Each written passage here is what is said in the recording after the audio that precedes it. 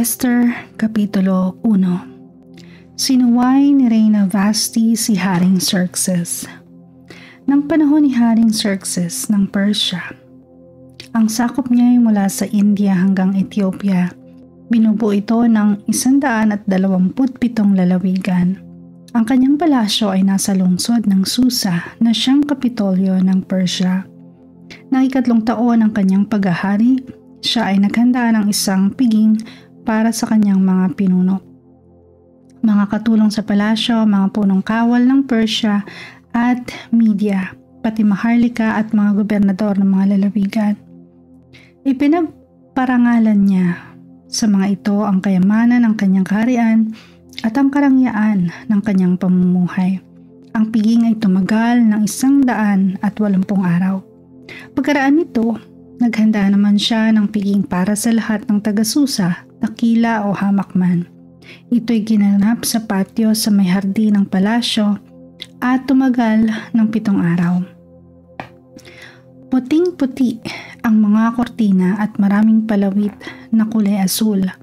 Ang mga tali nito'y nilubid na pinong lino at morado at nakasabit sa mga argolyang pilak. Marmol ang mga haligi ng palasyo Yari sa gintot pilak ang mga upuan. Ang sahig ay mosaic na yari sa porfido, alabastro, nakar at mamahaling bato.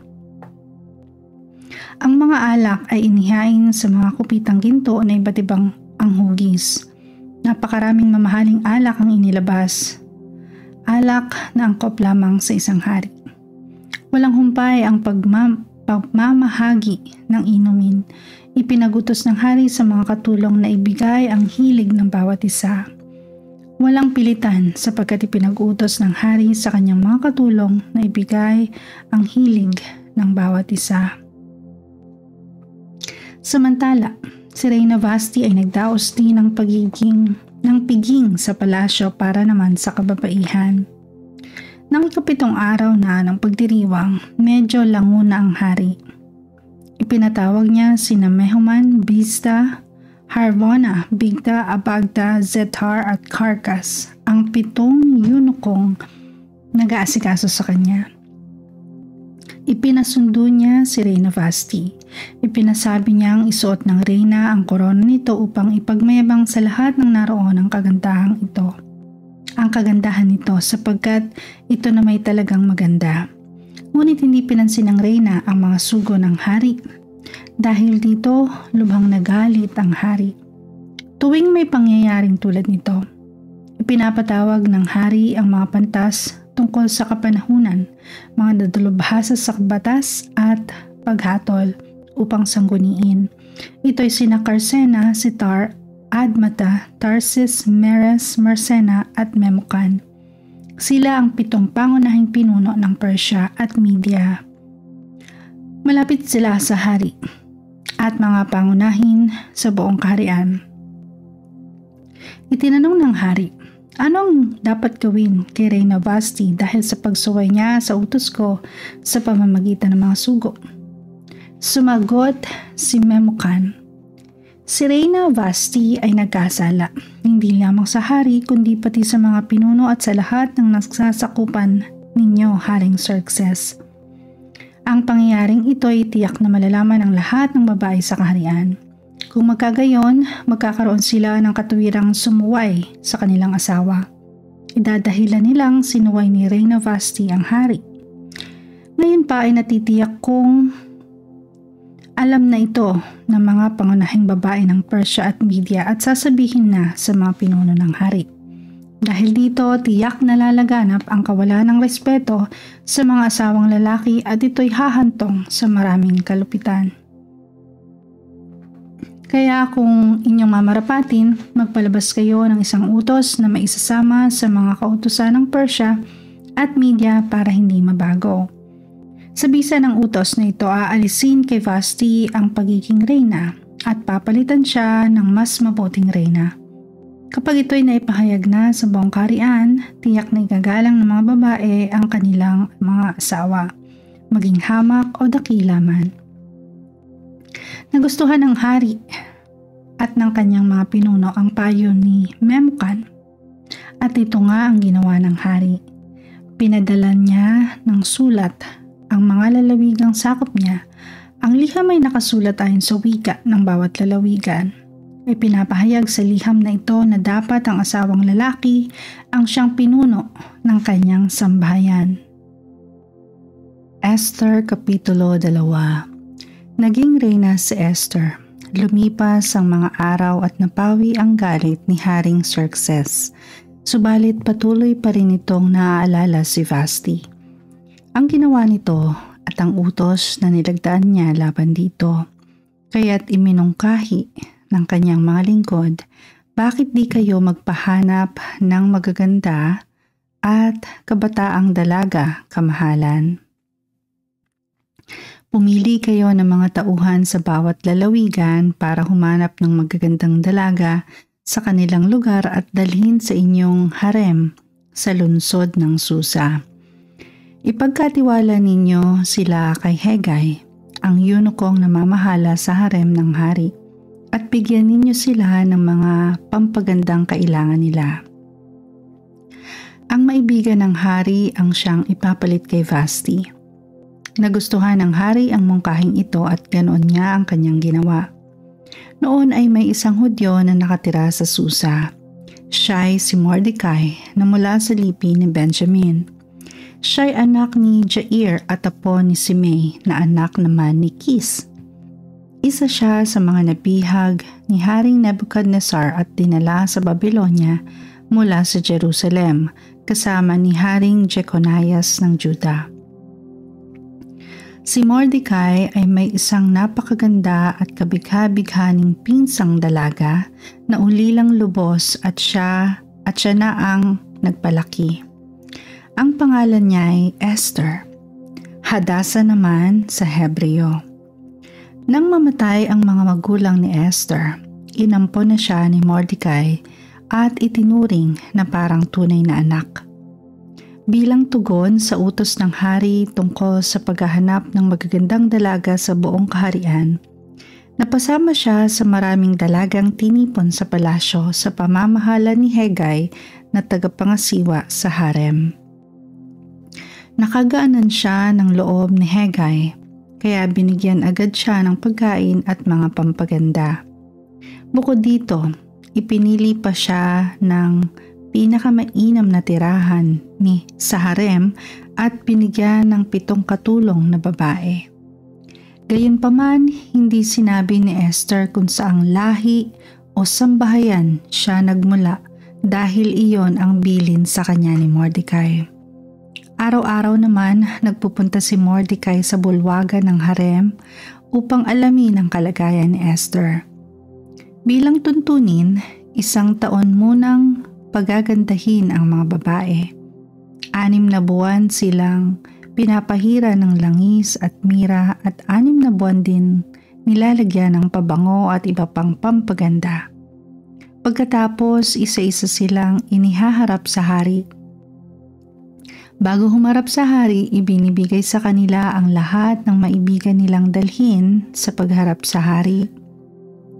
Bawat isa ay pumupunta sa hari sa gabi at kinabukas ay dinadala sa isa pang harem nito sa pin, na pinamamahalaan naman ng yunukong si Saaz Gaz.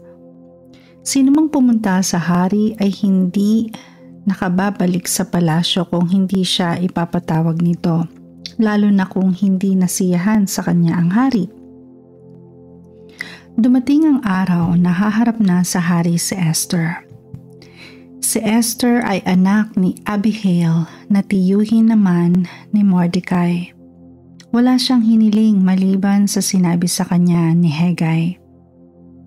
Nabighani ang lahat ng nakakita sa kanya noon ay ang ikasampung buwan ng ikapitong taon ng paghahari ni Xerxes. Lubos na nabighani ang hari kay Esther at inibig niya ito ng higit sa isang babae. Kaya kinoronahan siya nito at ginawang reyna kapalit ni Vasti. Nagdaos ng isang malaking handaan ng hari upang parangalan si Esther at inanyayahan niya ang lahat ng kanyang mga pinuno at mga kaibigan.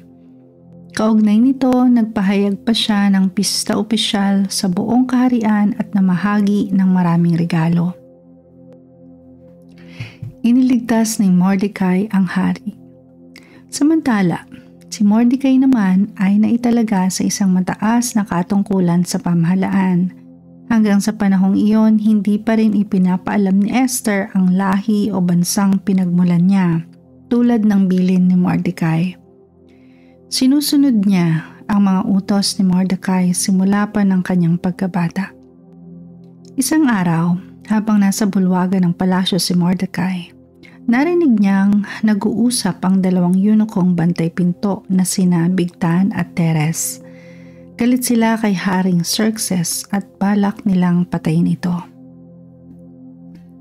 Nang marinig ito ni Mordecai, gumawa siya ng paraang makausap si Reyna Esther at sinabi rito ang kanyang narinig. Sinabi naman ito ni Esther sa hari, pati ang tungkol kay Mordecai. Pinaimbestigan ito ng hari at napatunayang totoo. Kaya ipinat ipinabitay sina Bigtan at Teres. Ang pangyayaring ito ay isinulat sa aklat ng kasaysayan ng kaharian. Esther Kapitulo 3 Binalak ni Haman na lipulin ang mga Hudyo. Pagkatapos ng mga pangyayaring ito ay tinaas ni Haring Xerxes sa tungkulin si Haman na anak ni Hamedata, isang agagita. Ginawa niya itong punong ministro.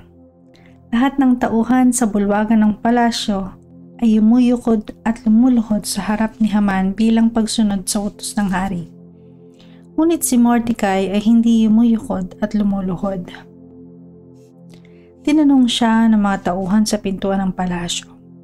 Bakit ayaw mong sundin ang utos ng hari? Araw-araw ay sinasabi nila ito sa kanya ngunit ayaw pa rin niyang sumunod. Kaya isinumbong nila si Mordecai kay Haman para malaman kung pagbibigyan siya ni Haman sapagkat sinasabi ni Mordecai na siya ay isang Hudyo. Nang mapatunayan ni Haman na hindi nga yumuyukod at lumuluhod si Mordecai, sumiglab ang galit nito. Nang malaman niyang Hudyo si Mordecai, umisip siya ng paraan upang malipol ang lahat ng Hudyo sa buong kaharian ni Haring Xerxes. Nang unang buwan ng ikalabing dalawang taon ng paghahari ni Xerxes, ginawa sa harapan ni Haman ang palabunotang tinatawag na Pur upang malaman kung anong araw nararapat isagawa ang balak niya. Tumama ito sa ikalabin tatlong araw ng ikalabin dalawang buwan na kung tawagi Adar. Pagkatapos nito, sinabi ni Haman kay Haring Xerxes, Sa lahat pong panig ng inyong kaharian ay may isang lahi ng mga tao na may sariling batas na iba sa alinmang lahi hindi po sila sumusunod sa inyong utos at makakasama po kung pababayaan ninyo silang ganito. Kung inyong mamarapatin, ipag-utos po ninyo na lipulin ang mga taong yaon. Magbibigay po ako ng 350,000 kilong pilak sa mga pinuno at ito'y ilalagak sa kabang yaman ng hari. Hinubad ng hari ang kanyang singsing na pantatak at ibinigay kay Haman na anak ni Hamedata, ang agagitang kaaway ng mga Hudyo. At sinabi sa kanya ng hari, Ikaw na ang bahala sa salapi at gawin mo ang gusto mong gawin sa mga taong iyon. Nang ikalabintatlong araw ng unang buwan, impinatawag ni Haman ang mga kalihim ng hari Pinagawa niya sila ng liham para sa mga gobernador ng lahat ng lalawigan at sa mga pinuno ng bayan. Sa wikang ginagamit sa lugar na padadalhan. Ang liham ay ginawa sa pangalan ni Haring Xerxes na tinatakda na tinatakan ng singsing nito. Ipinadala sa pamamagitan ng mga sugo ang mga liham sa mga lalawigan ng kaharian na naguutos na patayin ang lahat ng Hudyo. Maging bata man o matanda, lalaki man o babae, at samsamin ang lahat ng kanilang ari-arian. Isasagawa ito sa ikalabin tatlong araw ng ikalabin dalawang buwan. Bawat lalawigay padadalhan ng sipi ng utos upang makapaghanda ang lahat sa araw na nabanggit. At ipinahayag nga sa lungsod ng Susa ang kapitolyo ng Persia, ang utos ng hari. Ang mga lalawigan naman ay kaagad pinadalhan ng mga sipi nito. Kaya't samantalang masaya nagiinuman ang hari at si Haman, ang lungsod naman ng Susa ay gulong-gulo. Esther Kapitulo 4 Pinakiusapan ni Mordecai si Esther na mamagitan. Nang malaman ni Mordecai ang lahat ng nangyari, pinunit niya ang kanyang kasuotan Nagsuot siya ng damit panluksa, naglagay ng apo sa ulo at naglibot sa buong lungsod at malakas na tumatangis. Naupo siya sa labas ng pintuan ng palasyo sapagkat hindi pinapayagang pumasok doon ang sinamang nakasuot ng damit panluksa. Ang mahudyo naman sa bawat lalawigang naabot ng utos ng hari ay nanangis ng buong kapaitan nagayuno at nagluksa. Karamihan sa kanila ay nagsuot ng damit panluksa at naglagay ng ambo sa ulo. Lubos na nabahala si Reyna Esther nang malaman niya ang pangyayari mula sa kanyang mga katulong na babae at mga yunoko. Kaya pinadalhan niya ng bisan si Mordecai. Ngunit ayaw nitong tanggapin iyon. Dahil dito, ipinatawag niya si Hatak, isa sa mga yunoko ng hari at itinalagang katulong niya. Pinapunta niya ito kay Mordecai at ipinatanong kung bakit siya nagkakaganon. Pinuntahan niya ni Hatak si Mordecai sa labas ng palasyo. Sinabi naman ito sa kanya ang buong pangyayari, pati ang halagang ibibigay ni Haman sa kabang yaman ng hari, mapatay lamang ang mga Hudyo. Binigyan pa siya ni Mordecai ng isang kopya ng sulat ng hari para ipakita kay Esther. Ipinakuusap din niya ang ipaliwanag kay Esther ang buong pangyayari upang ipagbigay alam iyon sa hari. Pagkatapos ng kanilang pag-uusap, nagbalik si Hatak kay Esther at isinaysay ang lahat ng sinabi ni Mordecai. Si Hatak ay pinabalik ni Esther kay Mordecai at ganito ang pinapasabi. Alam na alam ng lahat na walang itinatangi ang batas ng karian. Sino mang lumapit sa hari, maging lalaki o babae, nang hindi ipinapatawag ay papatayin maliban kung ipatong sa kanya ang gintong setro. Tatlumpong araw na akong hindi ipinapatawag ng hari nang matanggap ni Mordecai ang sagot ni Esther. Ganito naman ang ipinasabi niya. Huwag mong aakalaing dahil nakatira ka sa palasyo ay ikaw lamang ang makaliligtas sa lahat ng udyo. Kapag ipinawalang bahala mo ang pangyaring ito, tiyak na may magliligtas din sa mga Hudyo, ngunit malilipol ka at ang iyong angkan. Anong malay mo? Baka nga napunta ka riyan para maging kasangkapan sa ganitong pagkakataon. Dahil dito, ipinasabi ni Esther kay Mordecai, Tipunin mo ang lahat ng Hudyo rito sa Susa at ipag-ayuno ninyo ako. Huwag kayong kakain o iinom sa loob ng tatlong araw at tatlong gabi. Mag-aayuno rin kami ng aking mga katulong na babae. Pagkatapos punta ako sa hari kahit ito'y labag sa batas. At kung dapat akong mamatay, ako nga ay mamamatay. Umalis si Mordecai at ginawa ang lahat ng tagubilin ni Esther. Esther Kapitulo 5 Ang piging para sa hari at kay Haman Lumipas ang tatlong araw mula nang mag-usap sina Esther at Mordecai Isinuot ni Esther ang kanyang kasuotan bilang reyna at tumayo sa bulwagan ng palasyo. sa tapat ng tirahan ng hari. Nakaupo noon sa trono ang hari, paharap sa pintuan ng palasyo. Nalugod siya nang makita si Esther at itinuro niya rito ang kanyang gintong setro. Lumapit naman si Esther at hinipo ang ulo ng setro. Itinanong ng hari, Bakit aking reyna?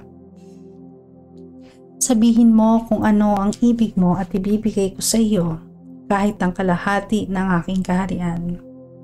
Sumagot si Esther, Kung mamarapatin ng mahal na hari, dumalo po kayo ni Haman ngayon sa piging na inihanda ko para sa inyo.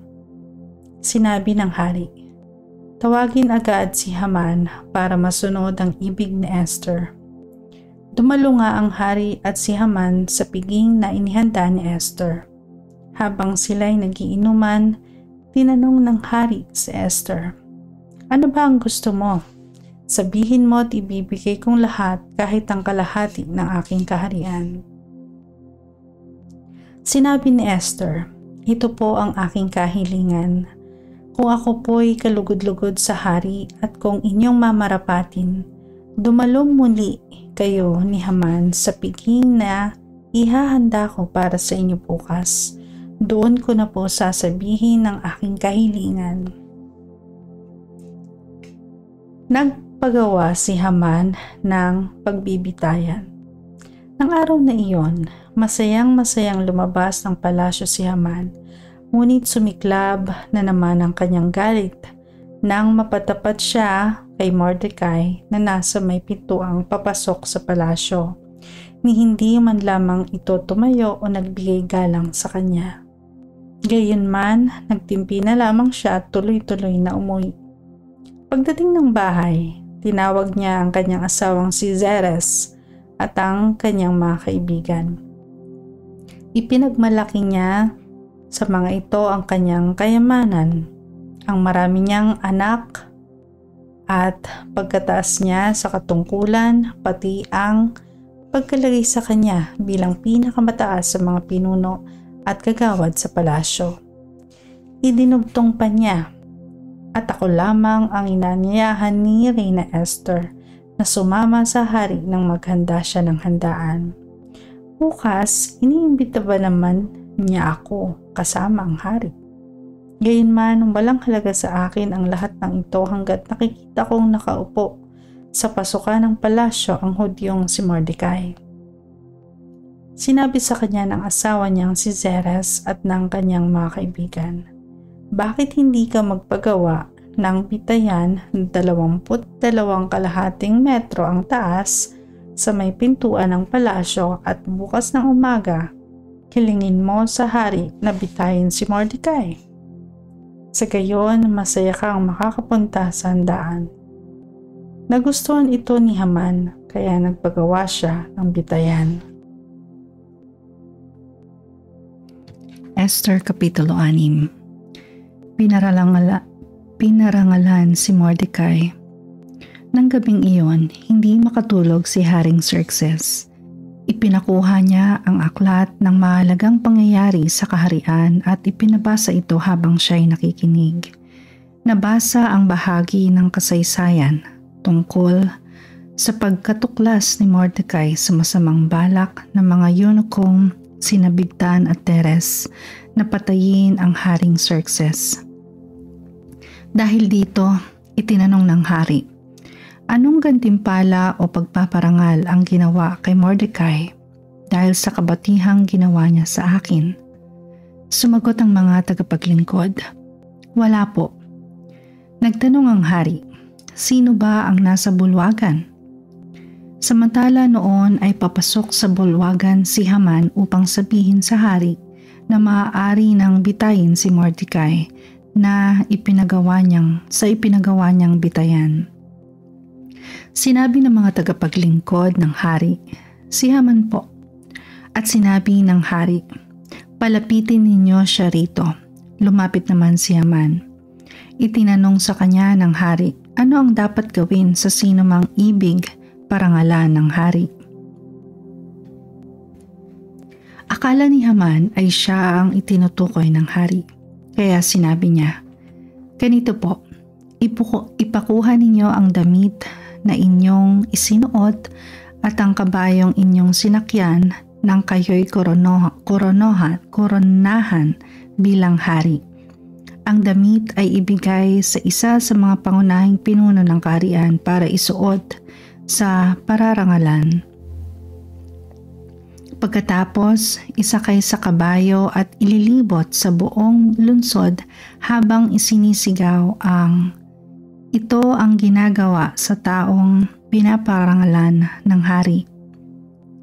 Sinabi ng hari kay Haman, kung gayon, kunin mo ang aking damit at ang aking kabayo. Lahat ng sinabi mo ay gawin mo kay Mordecai, ang hudyong nakaupo sa may pintuan ng palasyo. Kinuha nga ni Haman ang damit at ang kabayo ng hari. Binihisan niya si Mordecai, isinakay sa kabayo at inilibot sa buong lungsod habang isinisigaw niyang ito ang ginagawa sa taong pinaparangalan ng hari. Pagkatapos nito, nagbalik si Mordecai sa may pintuan ng palasyo. Nagbamadali namang umuwi si Haman at pagdating sa bahay ay nanangis at nagtalukbong dahil sa inabot na kahihiyan. Ang nangyari isinalasay ni Haman sa asawa niyang si Zeres at sa kanyang mga tagapayo. Sinabi sa kanya ng kanyang mga tagapayo at ng kanyang asawa, Kung hudyo nga si Mordecai na siyang dahilan ng iyong panghihina, hindi mo siya madadaig, kundi ikaw pa ang dadaigin niya. Nag-uusap pa sila nang dumating ang mga sugo ng hari at nagmamadaling isinama si Haman sa handaan ni Esther. Esther Kapitulo 7 Binitay si Haman Si Haring Xerxes at si Haman ay dumalo sa ikalawang handaan ni Reyna Esther. Habang sila'y nagiinuman, itinanong ng hari, Reyna Esther, ano nga ba ang hihilingin mo? Sabihin mo at ibibigay ko sa iyo kahit ang kalahati ng aking kaharian. Sumagot si Reyna Esther, Kung inyo pong mamarapatin, mahal na hari, nais ko po sanang hilingin na ako at ang aking mga kababayan ay inyong iligtas sapagkat kami po ay ipinagbili para patayin at lipulin kung kami po ay pinagbili upang maging mga alipin, magsasawalang kibo na lamang po ako at hindi na kayo gagambalain pa. Subalit kami po ay nililipol na. Itinanong ng hari, sinong may pakana ng mga bagay na ito? Sumagot si Esther, ang aming kaaway at tagausig, ang masamang si Haman at si Haman ay nangatog sa takot sa harap ng hari at ng reyna. Galit na galit na tumintig ang hari at nagpunta sa hardin ng palasyo. Naiwan naman si Haman at nagmakaawa kay Reyna Esther sapagkat natitiyak niyang siya'y paparusahan ng hari. Nang magbalik ang hari, nakita niyang nakadapa si Haman sa harap ng reyna na nooy nakahiga dahil dito'y pagalit na sinabi ng hari. Pagbabalakan pa niya ng masama ang reyna at sa loob pa naman na, at sa loob pa naman ng aking pamamahay, hindi pa halos natatapos ang salita ng hari, tinakpan na ng mga lingkod ng hari ang mukha ni Haman. Pagkatapos sinabi ni Harbona, isa sa mga yunoko ng hari, Nagpagawa na po si Haman ng isang bitayan para kay Mordecai na nagligtas sa buhay ninyo, mahal na hari. Ang taas po ng bitayan ay 22 kalahating metro at naroon sa tabi ng kanyang bahay. Doon siya bitayin utos ng hari. Binitay nga si Haman sa bitayang ginawa niya para kay Mordecai. Pagkatapos napawi na ang galit ng hari. Esther Kapitulo 8 Hinirang si Mordecai Nang araw ding iyon, ang mga ari-arian ni Haman na kaaway ng mga Hudyo ay binigay ni Haring Xerxes kay Reyna Esther. Napabilang rin si Mordecai sa mga kagawad na malapit sa hari sapagkat sinabi ni Esther na magkamag-anak sila. Ang singsing na pantatak ng hari ay kinuha kay Haman at ipinigay kay Mordecai na siyang ginawang katiwala ni Esther sa dating bahay ni Haman.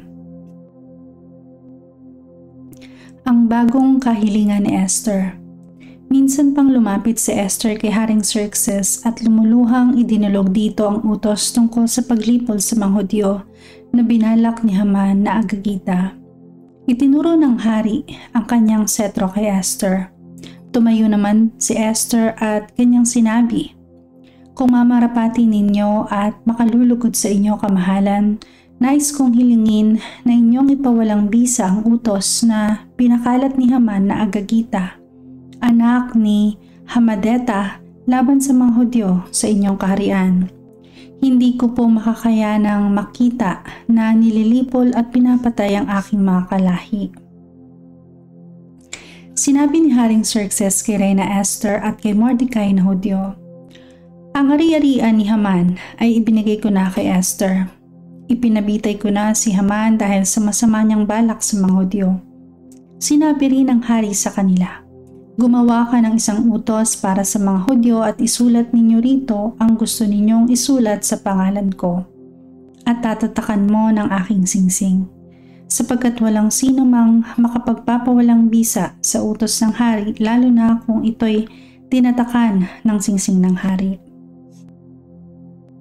Nang ikadalawamput tatlong araw ng ikatlong buwan, ipinatawag lahat ang mga kalihim ng hari Ipinasulat ni Mordecai sa kanila ang isang liham tungkol sa mga Hudyo upang ipadala sa mga gobernador at mga tagapangasiwa at mga pinuno ng 127 lalawigan mula sa India hanggang Ethiopia.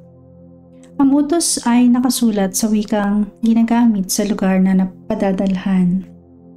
Ang sulat na ito ay sa pangalan ni Haring Xerxes at may tatak ng singsing nito. Pagkatapos ipinadala sa mga tagahatid sulat sakay ng mabilis nilang kabayo mula sa kwadra ng hari. Sa pamamagitan ng sulat na ito, ipinahihintulot ni Haring Xerxes na magsama-sama ang mga Hudyo upang ipagtanggol ang kanilang sarili laban sa sino mang sasalakay sa kanila mula sa alinmang lalawigan. Pinahihintulutan din silang patayin lipulin at samsama ng ari-arian ang hukbong sasalakay sa kanila, pati ang mga kababaihan at mga bata. Gagawin nila ito sa buong karian sa loob ng isang araw sa ikalabintatlo ng ikalabindalawang buwan ng taon. Bawat lalawigan ay padadalhan ng sipi nito at ipahahayag sa lahat ng tao para makapaghanda ang mga Hudyo sa araw na yaon laban sa kanilang mga kaaway.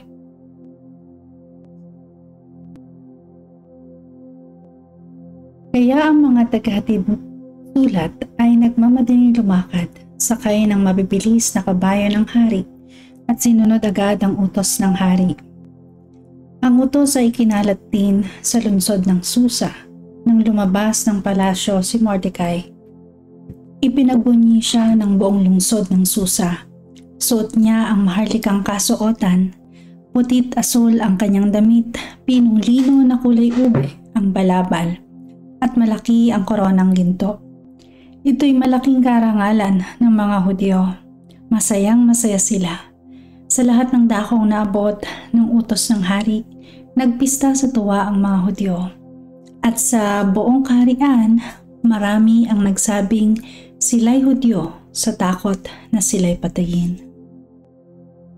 Esther Kapitulo Siyam ang tagumpay ng mga Hudyo Dumating ang ikalabintatlong araw ng ikalabindalawang buwan ng taon. Ito ang araw ng pagsasagawa ng utos ng hari.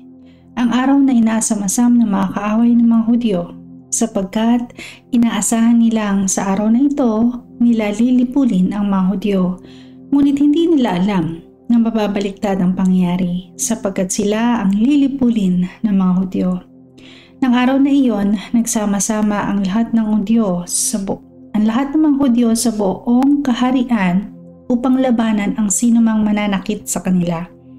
Ngunit wala namang nangahas magbuhat ng kamay sa kanila sapagkat natakot sa kanila ang lahat. Tinulungan pa sila ng mga gobernador at ng lahat ng pinuno sa bawat lalawigan dahil naman sa takot kay Mordecai na noon ay isa, isa ng makapangyarihang tao sa kaharian. Bantog na sa buong kaharian ang kanyang pangalan at patuloy pang lumalaki ang kanyang kapangyarihan.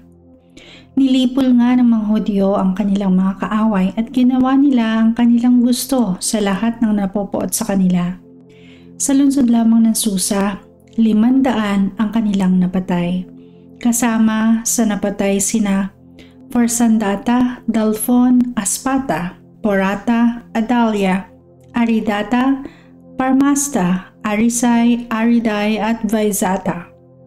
Parang pawang mga anak ni Haman na anak ni Hamedata at kaaway ng mga Hudyo. Ngunit hindi nila sinamsa mga riarian ng kanilang mga kaaway. Nang araw ring iyon, umabot sa kaalaman ng hari ang bilang ng napatay sa lungsod ng Susa.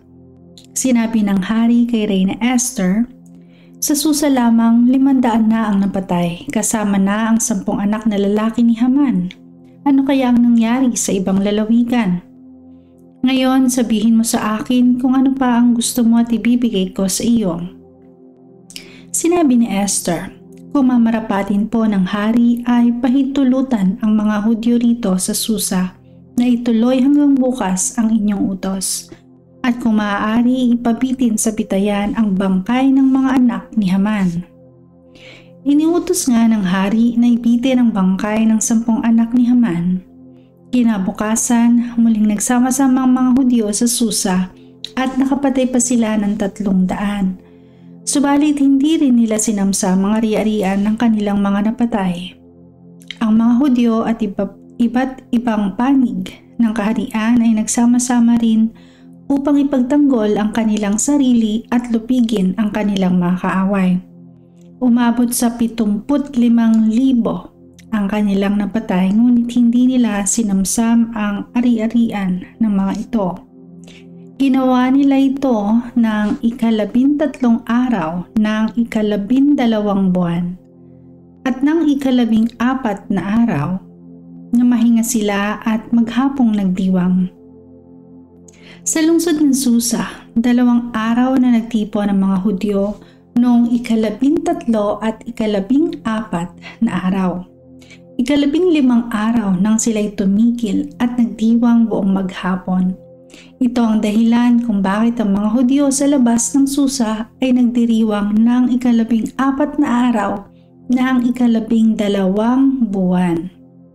Maghapon silang nagpista at nagbigaya ng mga pagkain bilang regalo sa isa't isa. Ang mga pangyayaring ito ay isinulat ni Mordecai at sinulatan niya ang lahat ng Hudyo, malayo man o malapit sa kaharian ni Haring Xerxes. Ipinagutos niya na ipagdiwang taon-taon ang ikalabing apat at ikalabing limang araw ng ikalabing dalawang buwan.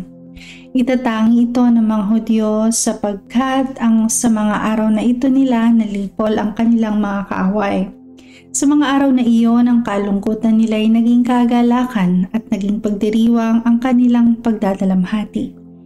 Sa mga araw ding iyon, nagbibigayan ng mga pagkain at namamahagi ng mga regalo sa mga dukha.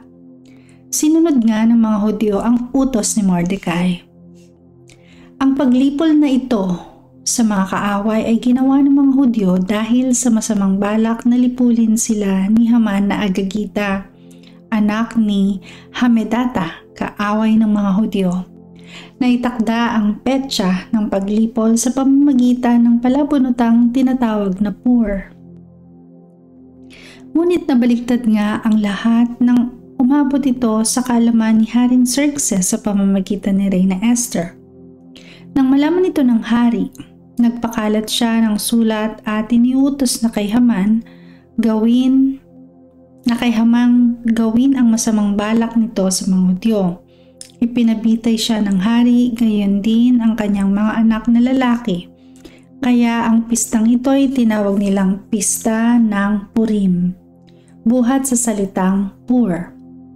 At dahil sa utos na ito ni Mordecai at sa pagkaligtas nila sa panganib, ipinasyang ipagdiwang ang dalawang araw na ito taon-taon. Ito'y gagawin nila ng kanilang lahi at ng lahat ng mapapabilang sa kanila.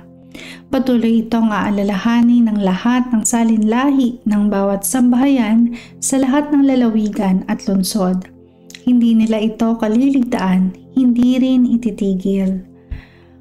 Upang pagtibayin ang sulat ni Mordecai tungkol sa Purim, sumulat din si Reyna Esther na anak ni Abihail ng liham na naghahatid ng katotohanan at kapayapaan sa isang daan at dalawamput pitong lalawigan na sakop ni Haring Xerxes. Ipagdiriwang ng lahat ng Hudyo ang Purim sa takdang panahon tulad ng ipinag-utos ni Mordecai at ni Reyna Esther. Susundin nila ito tulad ng pagsunod nila ng kanilang mga salinlahi sa mga tuntunin sa pag-aayuno at pagdadalamhati Pinagtibay ng sulat ni Esther ang mga tuntunin sa pagdiriwang ng pista ng Purim at isinulat ito sa isang aklat.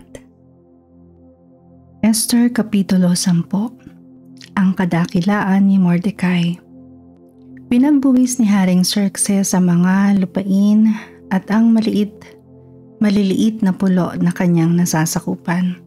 Ang kapangyarihan ng hari, ang lahat ng ginawa niya pati ang pagkataas sa katungkulan ni Mordecai at ang malaking karangalang ibinigay niya rito ay pawang nakasulat sa aklat ng kasaysayan ng mga hari ng Media at Persia.